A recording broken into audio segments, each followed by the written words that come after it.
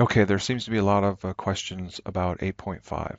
So let's go through uh, a typical question. Here's number two on the homework. It's 855 in the book. Okay, they give you some sort of word problem where you'll notice we're dealing with standard deviations, right? This is standard deviation, not variance. Variance, you have to square it.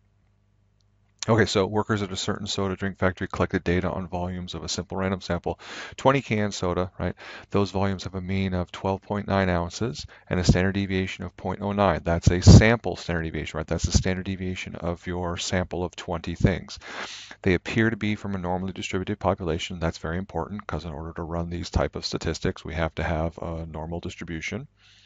If the workers want uh, the filling process to work so such that almost all of the cans have volumes between 11.99 and 12.51, i.e. they want to keep the variation between volumes within a tight parameter, so they want a very small standard deviation, right?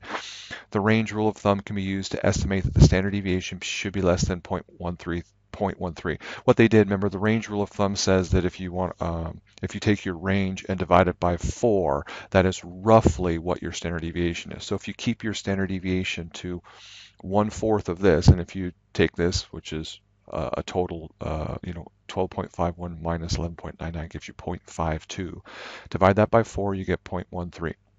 So they think that if they keep the standard deviation to less than 0.13, right, less than 0.13, then everything will be filled within that parameter, or at least the majority will. Okay, so they want you to test that claim. Here's your significance level. So getting the null and alternative is easy. We know it has to be equal. We know it has to be less than. And then compute the test statistic. Well, we can do all of this in StatCrunch. Okay. Make it a little smaller so we can see everything that's going on. All right, stat. Now we're dealing with standard deviations, but we don't have a standard deviation option, so we have to use variances. We have one sample, and we have a summary. They told us the summary of what's going on. All right, the first thing it asked for is sample variance. They didn't give us sample variance, they gave us sample standard deviation. So you have to take that and square it. Okay, so 0.09 squared.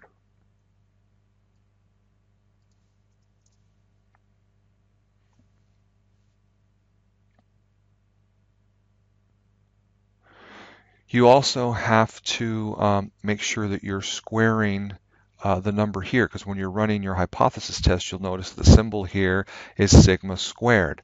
You're over here having the symbol of sigma. So if sigma is equal to 0.13, sigma squared has to be equal to 0.13 squared, which is 0.0169.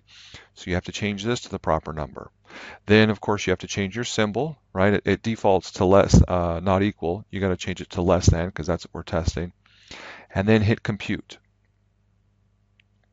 You'll see that here is your chi-square test statistic, right? Anytime they're asking for a test statistic, that's what you get in this second to last box, right? If we were doing a, a t-test, then this would just say t-stat. And if we were doing z, it would just say z-stat. But it's always the second to last box, and then the last box is always your p-value. So we go down here, you can see that this is the p-value they were looking for.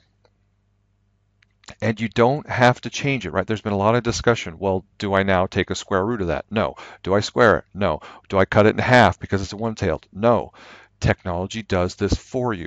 What it gives you is what you want. Don't touch it. It's it. And then you answer your questions about rejecting and not rejecting and all that. Okay, so that should take care of that type of question for you.